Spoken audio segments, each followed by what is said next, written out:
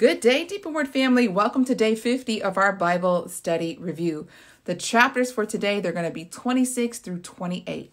Do you remember where we left off yesterday? 24,000 men of Israel fell because they were seduced by the women of the Moabites. So now we walk into chapter 26 and we see that Yahuwah is commanding Moses to take another census because the one he had before is no good anymore. He has to recount. Now he is recounting this new generation, 20 years and older for war. At the end of chapter 26, we see that the older generation died off, the ones who were cursed because they would not believe the word of Yahuwah when Joshua and Caleb came to bring the good report. This generation has died off completely. Chapter 27 opens up about laws of inheritance. There are five daughters from the tribe of Manasseh whose father died. He had no sons. They came to Moses and Eleazar and they petitioned before them. They said, Look, our father died. He was not among those who were rebelling with Korah. Our father died of his own sins. Why should the name of our father diminish? And why shall we not receive an inheritance because he had no sons? They came to them and said, Give us our inheritance from our father's house, from the tribe of Manasseh. Verse 5 Moses brought their case before Yahuwah, and Yahuwah spoke to Moses, saying, The daughters of Zelophehad speak right. You will certainly give them an inheritance among their father's brothers, and you will cause the inheritance of their father to pass on to them. You will speak to the children of Israel, saying, If a man dies and has no son, then you will cause his inheritance to pass on to his daughter. If he has no daughter, then you will give his inheritance to his brothers. If he has no brothers, then you will give his inheritance to his father's brothers. And if he has no brothers, then you will give his inheritance to his closest kinsmen.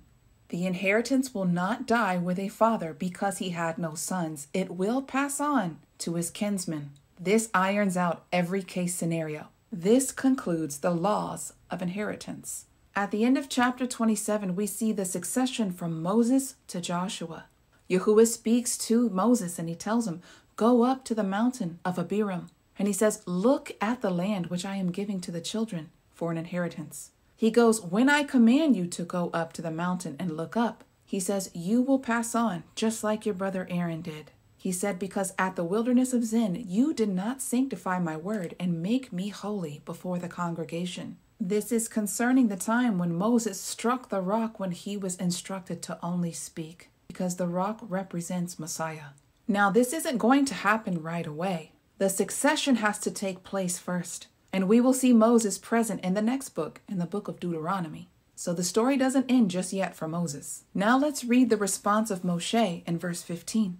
Moshe spoke to Yahuwah, saying, Let Yahuwah, the Elohim of the spirits of all flesh, appoint a man over all of the assembly who will go out before them, and who will go in before them, and who will lead them out, and who will bring them in. So the assembly of Yahuwah will not be like sheep who do not have a shepherd.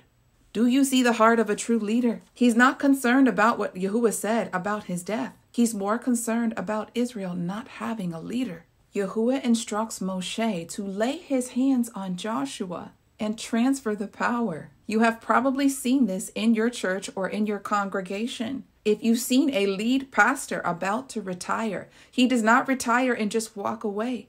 He passes the leadership on to another. Right here in this instance, he says Moses must be there, the high priest must be there, and all of the assembly must be there to witness, to see who their new leader is. Chapter 27 concludes that the power and the leadership is now transferred over to Joshua. The name Joshua is truly the name of our Messiah. It's a modern day version of the name. The earliest form of our Messiah's Hebrew name is Yehoshua, meaning salvation of Yah. Some people say Joshua, but Joshua, we know that he brings them in. He crosses them over into the promised land. Joshua is also a picture of our Messiah. Now we walk into chapter 28. Let's read verses 1 and 2.